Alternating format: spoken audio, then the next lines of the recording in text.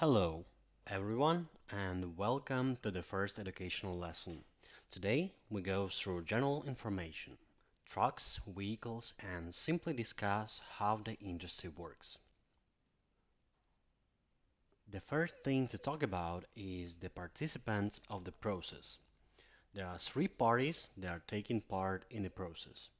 The first one is our potential customer that has a vehicle to ship or he is still thinking of doing that. We can also call them clients or shippers. The next party is the carrier. Carrier physically possess a truck and ship vehicles. We may also call them carrier companies. It is important to put an accent mark on a letter A, so it's a carrier company, not a carrier company. On a regular basis, you will call them drivers or carriers. Most carrier companies are small, drivers are mechanic, billing, and dispatcher at the same time. Usually, those people work for themselves and it makes them a little independent in their deeds. It's important here to build a right connection with them from the beginning of co-working. Be kind, check all the details so you won't have any issues while working with the drivers. And the third party of the process is brokers. We may also call them sales managers or shipping agents. In general, a broker is someone who connects drivers and customers. There are different broker companies, most of them are small. There are about 2,000 broker companies on the market. So you need to understand that the market is full, and as a result, this market is rather competitive. Brokers do not have their own trucks. They find carrier companies that have a truck on some certain route for some certain customer and connect them. Broker gets their commission out of it. As I already guessed, we are one of such companies. Next, I will try to explain how the industry works. There is a potential customer. Only 30% of customers will end up using our services after receiving a quote. It's not only our conversion rate, but other broker companies too. Here is the reason for that. For instance, there is a person who found a cheap car to buy in California, but he lives in New York. When he received a quote for the transportation, he realized it's too expensive for him and it's cheaper to find a car somewhere locally in New York. Or a person who lives in a city and wants to ship his vehicle to his country house. But when he receives a quote, he understands that it would be cheaper for him to drive it himself or not to do it at all. So let's say that 30% are our potential customers that after receiving a quote would use our services. And the other 70% will never be converted into the order. Okay? Next topic is how the process starts. A customer goes to Google or any other web search and types in ship my car from New York to Florida, for example.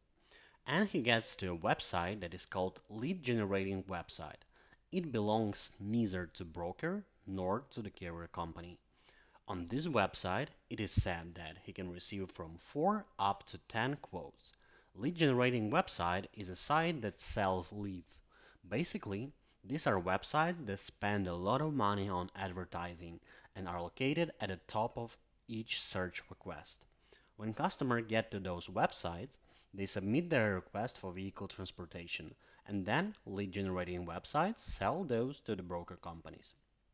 What's a quote? A quote is an analogy of the word price.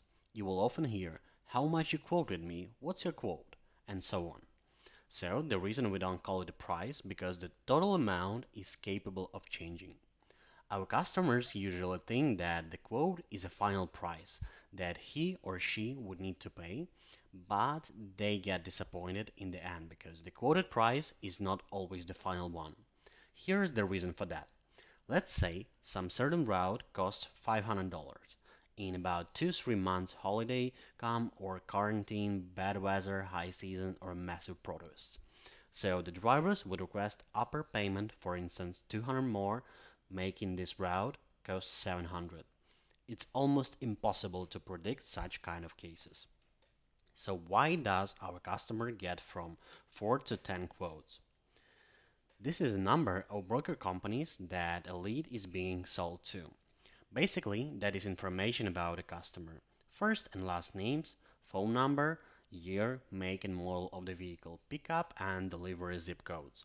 Zip codes are postal indexes that are attached to some certain area. It lets us understand the approximate location of the vehicle. Such information gathered is called a lead. Okay, let's get back to quotes. When customers sees on website that he's about to receive 4 to 10 quotes, estimated prices, he thinks that he will receive names of companies, their ratings, reviews, choose the cheapest among them, and call himself requesting transportation. Here's the second disappointment that comes, because all those 4 to 10 companies start to call, email, and send text messages at the same time. Customers are not expecting this at all, so if you want to communicate with customer well, you need to call him in the first 5 minutes after he submitted his request, after you receive his lead in your CRM system. Otherwise, later he would simply stop answering the phone, he would prefer SMS and try to shop around in order to find the cheapest price. He might also tell you that you called the wrong number, he never requested a quote, so just to get rid of annoying offers. Of course, you can handle such customers even like this. They will call you back themselves after your SMS follow-ups, which is very important. The reason why customers would prefer to work with our company is that our deposits are way lower than deposits of those companies that are based in the USA because American salaries are way higher than ours. Clients are such people that would care about each 50 bucks because it's a big difference for them when choosing the company. Sometimes they will call you to cancel an order because someone has offered them $20 lower. So you need to prepare for such scenarios. Later on, we will teach you how to deal with such customers. As we mentioned earlier, a broker company doesn't have its own trucks. So, as soon as the customer chooses a company to work with, sign the contract, brokers start to search for the carrier company that will ship vehicles. Nowadays, there are about 9,000 carrier companies. A lot of them are Russian speaking. You may recognize them by a strong accent. They will be glad to talk to you and offer a discount from time to time. This was a quite long process that our customer go through from the moment they decided to ship their vehicle till they get to the broker companies. Another question. Why can't the customer work directly with the carrier company? There are several reasons. First thing that is a carrier doesn't have a sales department. Secondly, they will need to have a special license, and of course, it's almost impossible for some certain carrier company to find a driver that can come to a certain pickup location and deliver to a certain destination point for a specific date. As I already have mentioned before, the driver is usually a person that bought a truck, drives it, and maintains it himself. So he doesn't really have enough time for small talks with spoiled customers, it's easier to work through a broker, especially because they do not have pay us. We get our commission out of our customers. That's why carrier companies are always happy to work with brokers. And the next thing we have to discuss is the types of trailers that we use to ship our vehicles. We won't be using word like a car because it defines a certain body type of a vehicle. A car belongs to a sedan. We'll deep into as we move on. Just remember to use word vehicle instead of car. There are three types of trailers that we use to ship vehicles. First one is the most common and is called a car hauler. It's the cheapest, as a result the most used one. In general, we ship like 98% of our vehicles using car haulers. They can carry from 1 up to 11 vehicles, but it all depends on a car hauler. This is how they look like. There are the double deckers and the ones that only consist of the one floor. Usually it's a double decker to be able to carry more vehicles. Car haulers are also divided into open and enclosed trailers. Open one is a truck that you may see in the picture. It doesn't have any coverage, and roughly speaking, it carries vehicles on the open air. The vehicles are parked on these trailers and are subject to some internal damages. Taking about the flatbeds, they are covered with some tent of fabric that cover vehicles from any sort of damage or weather conditions. The price for enclosed trailer is 50% more expensive than for open ones. For instance, there is some vehicle that is on some certain route and costs 500 for an open trailer. So it would cost by simple math 750 for enclosed one. As for the insurance, Open car hauler is $100,000 insured, enclosed $250,000. Both cases are 0% deductible. It is also bumper to bumper coverage, meaning that vehicles would be fully insured. Also, enclosed car haulers are divided into soft side and a hard side.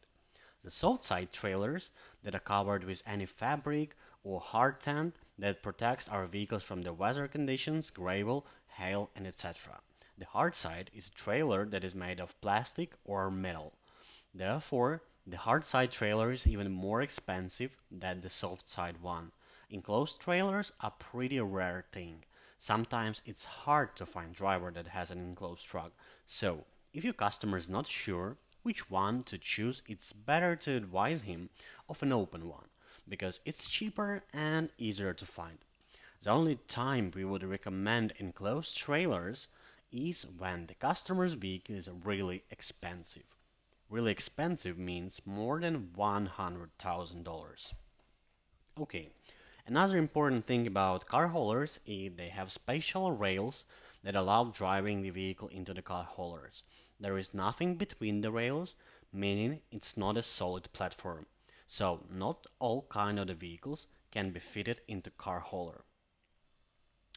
But there is a type of vehicles that is called convertible. It can be soft top or a hard top. Do not mistake it with the soft side and hard side of an enclosed car hauler. Convertible cars can have either a soft top, which means the roof is made of leather or fabric, or it can have a hard top made of plastic or metal. So if we ship a convertible car on a double-deck car hauler, we would ask a driver to place our convertible on the top to prevent any oil or fuel leakage from a car that stays above. Roofs of convertibles are really expensive, and there are not many body shops to fix them. In any case, that will be a negative experience for the customer, even if insurance covers it because it takes time. The driver should provide you a top load service for free and you can even sell this option to your customer for some additional $50 in order to get some profit on it. Maybe an additional reason for the customer to work with you uh, because he would feel some kind of trust between you and him. Okay, let's move ahead. In case if our vehicle doesn't fit into the car hauler, we use a flatbed. It may fit from one to three vehicles and it has a solid bed, meaning that it doesn't have rails like car haulers do. That's why car hauler has restrictions on the width of the wheelbase.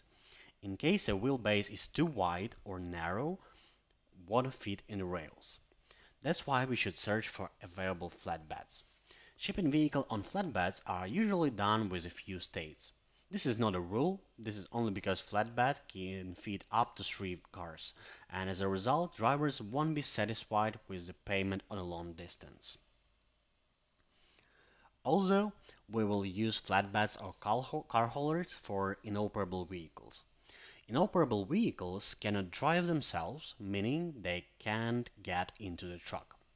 Sometimes customers think that their car is inoperable, but you need to double check that all the time. If a customer can drive it for like 20 miles, it doesn't mean that it can drive two in order to be loaded on a truck. It's enough to start the vehicle, drive it into the truck, and park it there. It's much cheaper for the customer and much easier to find a driver for an operable car. Also, it's important to know that there are not many flatbeds in the market. Alright, Let's assume you check with a customer and his vehicle is indeed inoperable. You need to check these three main criteria that you're able to see on the screen right now. If the vehicle rolls, steers, and brakes. Then there are three ways how to get vehicle loaded. The first one, if it does roll, steer and brake, then we can load it using a winch. The winch is equipment that is set up on a cabin of car, hauler or flatbed. The second way is a forklift, which is special equipment that we can find on auction or dealership, some repair shop as well. Forklift is not located on any of the trucks, it's a small separate vehicle itself. Drivers do not have it with them. If you find a way to load a car with a forklift, it's not necessary to have a forklift at a drop-off location because you may simply put it on a neutral and roll it off the trailer. And the third way is simply human power. If customer ships some chassis or any detail of a vehicle, he can load it himself. It happens, indeed, very rarely. It's good to know that drivers usually charge extra for inoperable vehicles but it always depends on the route, body type of the vehicle, though there is no fixed amount of money. Sometimes on popular routes it might be free of charge. This is something you negotiate directly with the driver. Okay, the third type of trailers that we use shipping vehicles is a lowboy. It is used for shipping heavy or oversized vehicles such as boats, recreational vehicles, travel trailers, and so on. It's usually very expensive and you won't work with them often. I would even say that you would never face such type of a truck. It has height restriction, so you would need to request dimensions from the customer. Next thing to go through is the body type of the vehicles.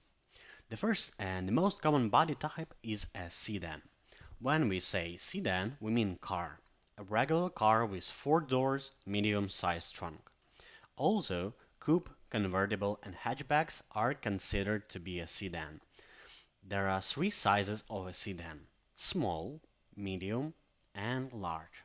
The size of the vehicle impacts the price for shipping. For example, Mini Cooper and Lexus LS60 are sedans, but Mini Cooper is a small one, Lexus is a large one. It means that drivers would usually request additional payment for a larger vehicle. Next body type is SUV or Sport Utility Vehicle. There are small, medium, and large SUVs. Basically, it's any vehicle that you would call a Jeep. To understand the difference, I'm going to show you some examples on screen. There is a such car called Suzuki Jimny and it belongs to SUV Small. Another very popular vehicle brand in the US is Jeep. Almost all of them are mid-sized. Here is one of them, Jeep Grand Cherokee. If we talk about SUVs large, here is an example of Cadillac Escalade. It has an extended trunk and usually has 7 seats.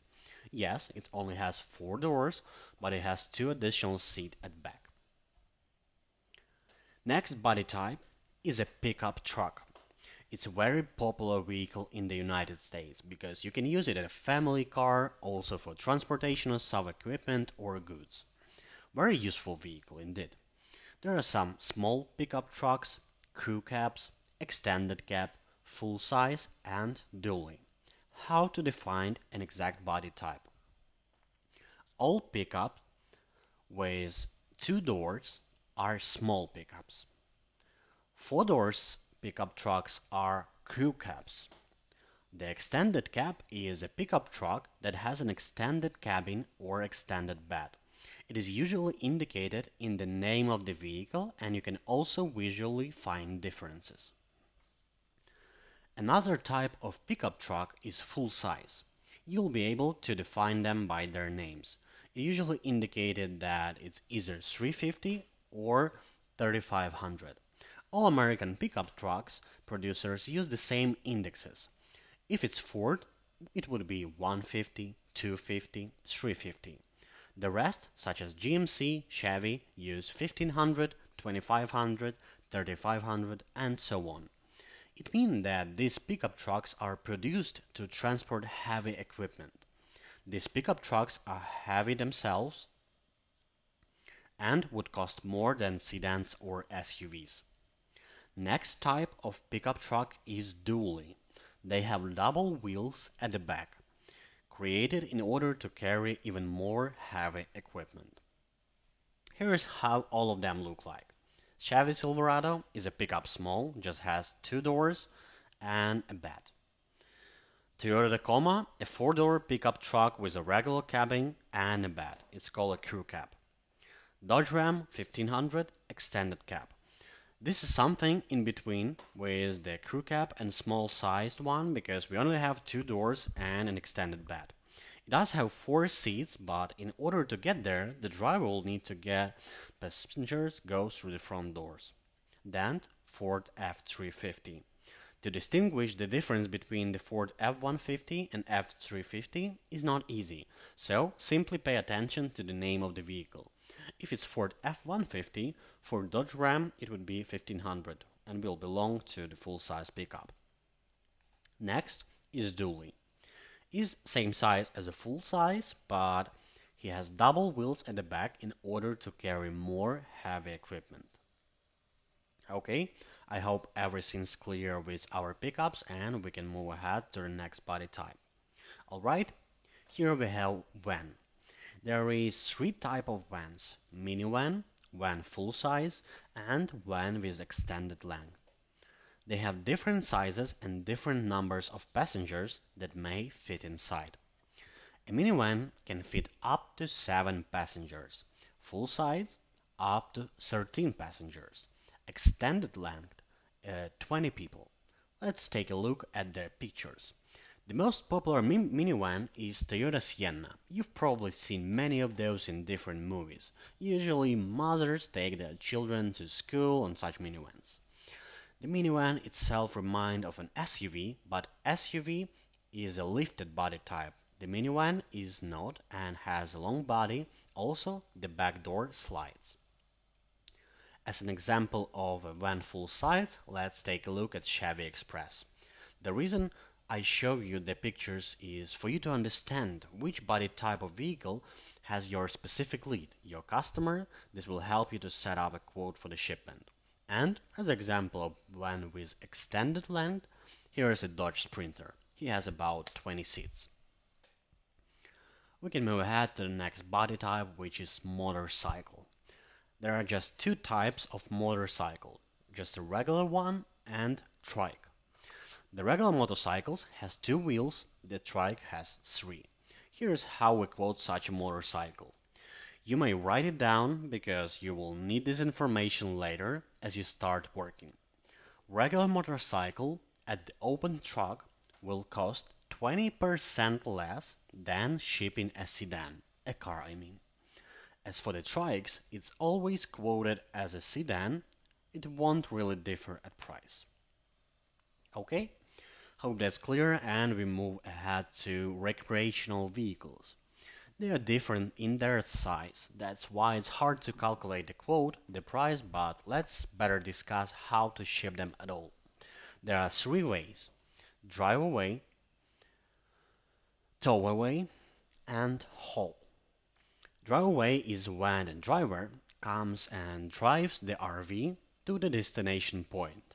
But in this case, RV has to be operable, has to have all the plates, documents, and insurance. Towaway is when a driver comes on his truck and tows the RV with him. The haul is something we are familiar with. A driver comes on a lowboy or flatbed and loads the RV on the trailers, then ship it. Travel trailers are the same thing, but they do not have an option to drive away. There is only tow away or haul, because a travel trailer is just like a wagon that is attached to a vehicle. It doesn't have an engine, unlike RV. Also, you will face all kinds of ATVs, UTVs, golf cars, buggy, and so on. They're quoted as a sedan even though they're a little smaller, lighter, but drivers usually have too much headache with them because they have small wheels, it's hard to fix them on the trailers, so drivers usually request the same price as for sedan. Okay, the next general topic that we'll discuss right now is our customers. Mostly, auctions belong to the category of online buyers.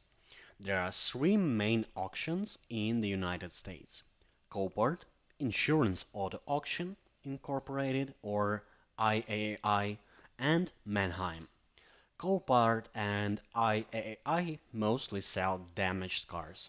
It doesn't mean that they are inoperable, they might just have a scratch or some huge damage even. Copart and Insurance Auto Auction are insurance auctions that the car goes to after some accident, so the insurance company tries to sell those cars. Manheim mostly sells good vehicles or vehicles with minor damage. Auctions have restricted working hours. It depends where the auction is. Copart and IAI are usually open on weekdays 8 a.m. till 5 p.m. Also, they do not operate on holidays.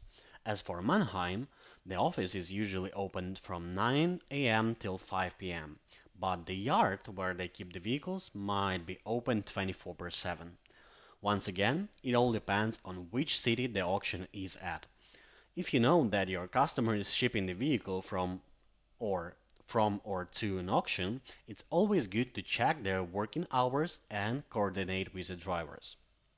Now, documents that are needed to release a vehicle from any of these auctions. Buyer number. Buyer number is a number given to a customer when he or she registers on an auction. Lot number. This is basically a number of a vehicle at the auction. VIN code is a code that belongs to a car when it gets produced. It contains letter and numbers. VIN code also contains specific information about a specific vehicle and it always indicated in documents for the vehicle. As for Manheim, we would also need a gate pass, which is a document that your customer will send you and you will pass it to the driver. He will need to show it on the gate in order to get the vehicle pickup. Another thing that you may face while working with auctions is a storage fee. If a customer buys a vehicle at some auction, but for some reason doesn't show up on time in the nearest 5 to 7 days to pick it up, then a storage fee would be applied. It means that an additional $10-$20 should be paid to the auction for each day of storage if the vehicle doesn't get picked up within some period of time. An advantage of auction is that usually have forklifts, so driver can pick up inoperable cars easily. Now we are moving ahead to the next group of customers, which is a dealership. Either dealership will contact you to request your services or people who buy vehicles at the dealerships. The difference between the auctions and dealerships is that dealerships usually has extended working hours, but once again, you will need to check them with a specific dealership. Also, sometimes they work on Saturdays. Documents needed for the dealerships are following: stock number, VIN code, and release form. Sometimes some dealerships will require a release form, but it happens very rarely. The stock number is like a lot number at the auction, the number of a vehicle. And the next group is individual customers. Those are the people that ship either by vehicle or moving somewhere. Some of them move to college to study, some due to work. Usually when you deal with individuals, drivers would often ask you if a vehicle goes from a private residence or business location, because they want to know if a place has limited working hours or not. Drivers prefer to work with individuals because there are no queues, no lines, no need to wait in order to get a vehicle. Also, most auctions or dealership pay with a company check, but individuals with cash which is more preferable to drivers. Individuals do not have time restriction. They can negotiate with their customer what time suit them the most. But for you as a broker, would be preferable to work with the dealerships. Because if you find a dealer that is interested to ship loads with you, you'll receive a lot of business from them, meaning a lot of orders. They can give you 10, 20 vehicles per month when customers usually move one, two times a year. As for the documents, individuals do not require any type of documents. All you would need is a car key and the vehicle itself. We will also request a phone number of the people at the pickup and delivery locations so we can call them when it's time to pick up or drop off the vehicle. No paperwork is needed. Alright, next topic that we have to discuss is something called snowbird clients. Snowbird clients are seasonal customers. Those people who ship their vehicles according to the weather, their college, work, or their country house. For example, there are customers that live in the New York area and when it goes too cold in winter, they move to Florida to their county house, for instance. They do not want to drive their vehicles, so they simply use our services and book flight to Florida, or vice versa. When it's too hot in Florida, they move to the New York area. It's not necessarily these two states. This is the most popular route of Snowbird's clients. Also, there is such a route as California, Texas, and vice versa. Here are main centers of car shipping in the US. In Texas, it would be Houston, Dallas, San Antonio, and Austin. In California, this is Los Angeles. Florida itself is uh, popular for shipping vehicles, mostly the peninsula. This part right here is not considered to be a good area for shipping vehicles because not many drivers go through this particular place. When you ship a vehicle on a popular route, prices may be so different. For example, if you ship a vehicle from Florida to New York for $900 and same day from New York to Florida, it might cost you $300. Demand created price, the more vehicles to ship, the higher price is. In order for the driver to get back to Florida, he takes all the vehicles on his way for a cheap price. When it's a high season, the price may be something in between for both directions, around 600. Okay, while we have the map opened, let's discuss a transit time. How long does it take to deliver a vehicle? It's really often question that will be asked by a customer. If it's coast to coast, it would take 7 to 10 days. North to south, or vice versa, usually takes 4 to 5 days.